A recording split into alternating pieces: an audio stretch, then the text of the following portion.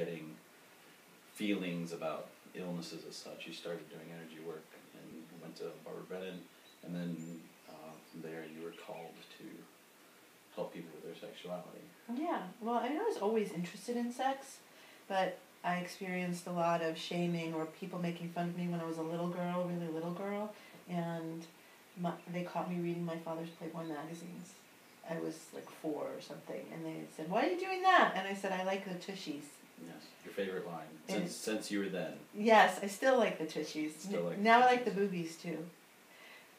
So I was always interested in sex, but what came in my direction was a lot of, you know, and so I got the idea that you should hide that. And then um, something happened when I was eight that was inappropriate with an adult, and that really gave them, me the message that it wasn't safe to enjoy my sexuality because someone would steal it and do bad things to you. So what happened between like the age of eight and around the age of thirty, my mid thirties, was feeling pretty divorced from my own sexuality, and it was something I did. It was something I was supposed to be good at, but it was really for the other person in the bed. And um, I would use my sexuality as a bargaining chip to get love, which Well, a lot. Of, I think a lot of women fell into Yeah. that trap. which is pretty much a failure, I would say. And um, and then I was at healing school, and um, it's a longer story than I want to tell today. But mostly, what happened was I was in an unfulfilling marriage and was thinking to myself, "Are you done yet?" And then I realized I didn't want to live the next fifty or sixty years of my life um, with that much of a disconnect from my pleasure. So I went on my own personal journey, and now I do this because what I found was I became so empowered in all areas of my life. I really found myself, and my self love, and my my joy, and my passion for my work, and now I want to help other people do that.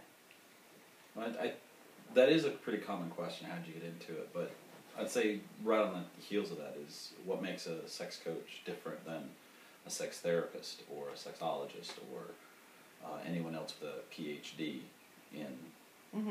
in human sexuality and helping with that from a clinical standpoint. Mm-hmm. Um, and for me, I think the biggest difference would be that we come at it from a point of uh, we've walked that path already. You know, we're coming at it as a as a coach. Like in sports, for example, nine times out of ten, your best coaches are ones who have played the game when they were younger and could do the game.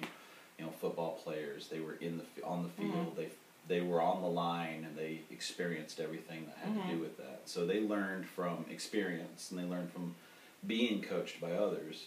Right. So as a sex coach, I think a lot of it comes from, like you said, your own personal journey. so I what's think- yours? Well, my own personal journey. Um, I was a bookworm uh, to, from the get go. My father had a vast library, of, of which included the Kinsey Studies and um, some other reference books. Um, I was socially inept, so I was that kid that, while I knew all the medical terms, I didn't know the slang very well. So uh, I completely got wrong on the playground which parts were called what by slang. I'd get the slang wrong. I knew the medical terms. I knew Mhm. penis and vagina. I knew vulva and foreskin and vas deferens tube and fallopian tubes, and Mm-hmm. but I didn't know dick or pussy and which part went with what, Mm-hmm. um, or the slang terms for so much of the things that we do as we explore sexuality. I come from a big family, so there was a lot of kids, so um, there was a lot of giggling and twittering as we as our sexuality was awakening. Um, but like most men of my generation, um, I'm 43 now, and I came of age during the AIDS scare, um, meaning I was in my I was in my teens during the 80s when um, they were terrifying. I mean, even Mm. even the beginning the beginning of the AIDS crisis, we didn't the general public didn't know how you got it, who had it, why, and what to do once you had it, and Mhm. all this other stuff. And being a bookworm and voracious reader, I was every time something new came out, I was always reading about it. So I was 19 before I lost my virginity, terrified that you know sex could be a death sentence if it was done wrong. Mm-hmm. Um, so for me, it wasn't so much shame as it was just fear of something that you have a you have this innate physical desire for, but that is incredibly dangerous. Mm-hmm. Um, and AIDS took forefront so much so that most of the other we used to call them venereal diseases. Now they're STIs and STDs. Um, a lot of them took a back seat because HIV and AIDS were in the forefront because it was a death sentence, whereas Mhm. you could live with herpes for the rest of your life. Mhm. Um, although the treatments have gotten much much better now, and it's not. While there's still a social stigma on it, it's not like the end of your sex life, you know. And uh, luckily, uh, So how'd you break out of that? um, experience and practice basically. You have Mhm. enough sex with enough people. Uh huh. Um, not that I'm in any way uh, advertising or advocating promiscuity. I'm advertising uh, being comfortable with yourself Mm-hmm. uh, and being self-aware of what it is you desire. Uh, so a lot of it was just experiencing, Mhm. experiencing a lot, and experiencing it um, in a way that was positive. Mm-hmm. You know, too many people I think um, don't have positive sexual experiences. I think far too many people have sex because they feel pressured to have sex. Uh, I can't tell you how many people left high school not a virgin, not because they wanted to have sex with the people they had sex with, but because they didn't want the the, the peer pressure stigma of being a virgin. Being a virgin when I was a kid was considered like there was something wrong with you. Mm-hmm. And I'm sure that I wasn't the only one who left high school as a virgin. I'm sure plenty of children were leaving high school having claimed to have had sex who didn't, Right. or ones who had sex only once but claimed to have more Mm-hmm. because they didn't want that stigma of being of, of being a virgin, which is really really strange to me that we would have this dichotomy in our culture between you know this puritanical save yourself for marriage, but then inside the peer group it's Mhm. oh you're a virgin what's wrong with you doesn't anybody love you you know Right. you know that Right. bizarre Well, you've talked a lot about, and this is a big difference between us because I was one of the quote unquote popular kids, and you were kind of a, you were a wallflower. You were I was really a shy wallflower. out I was shy. I was socially stigmatized. I grew up in the South, but I wasn't. I wasn't subscribing to the typical Southern Baptist Mm-hmm. convention of anything, whether it's church going or political leanings or.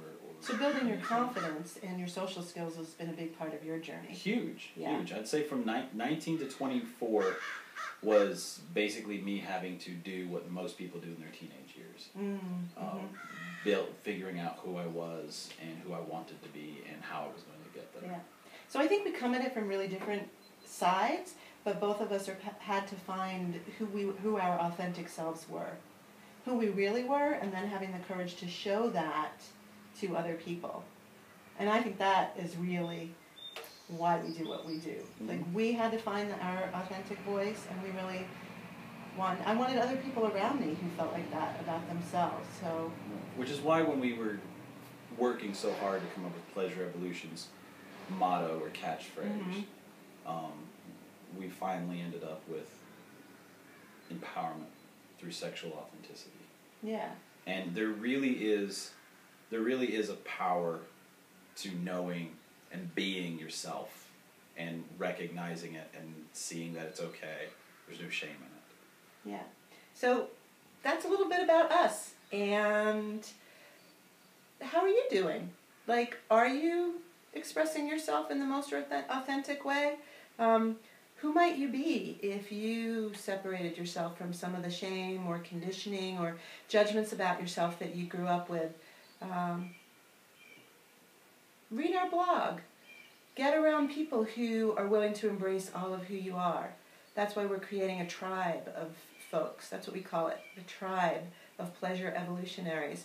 And uh, I hope that you can surround yourself with those folks too. And wherever you live, wherever you're watching this video from, join our online community at Pleasure Evolution on Facebook. Uh, check out our blog posts and stick with us because we want you to embrace all of who you are as a sexual being. It's been good for us. I'm Trevor Jones, I'm Rebecca Veneto. and we are Pleasure, Pleasure Evolution. And scene.